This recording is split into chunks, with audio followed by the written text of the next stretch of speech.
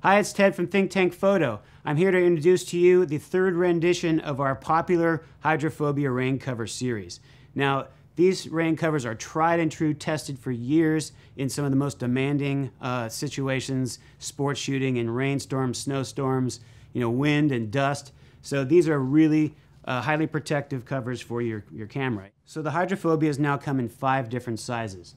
This is the 300 to 600. This is the 7200 that has two different sizes, one for DSLR and one for mirrorless. This will also fit a, a 100, 400 millimeter lens. And then we have this other new size for your wide angle zooms. Um, this one also comes in a mirrorless and a DSLR version. Um, and it will fit, uh, this has a 2470 in it, but it'll fit your 1135s and other uh, smaller wide angle zooms. It's nice and short. Um, what's also nice about these two versions is they come with a, a camera strap that is actually looped around the lens so it supports the weight of the camera and not being supported by the actual rain cover itself.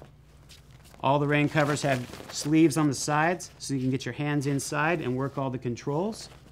And then these can be cinched up around your sleeves as well so it creates a, a tighter seal and you don't get rain coming in through the inside.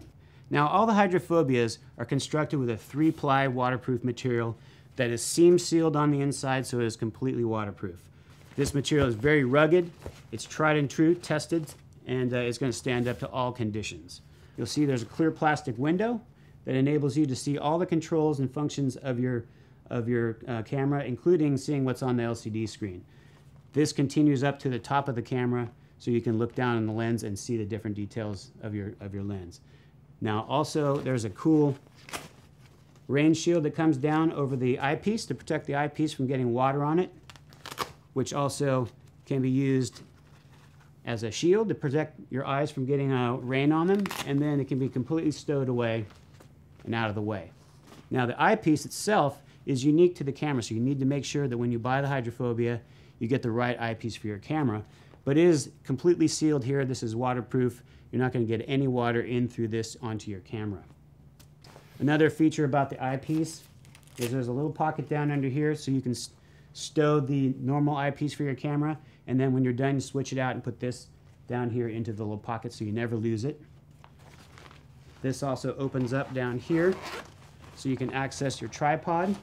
Get this on and off the camera real easily. It zips up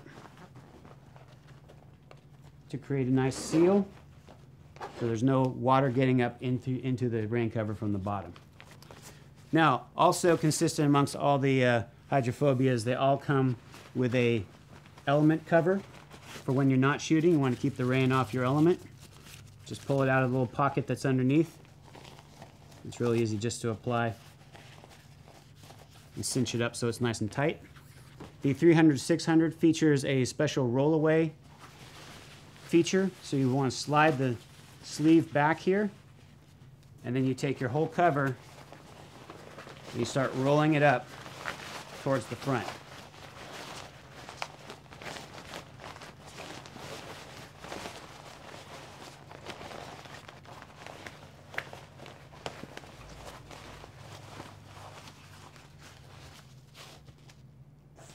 Nice and tight so you can still work your focus. So that is the Hydrophobia version 3.0. Thanks for watching.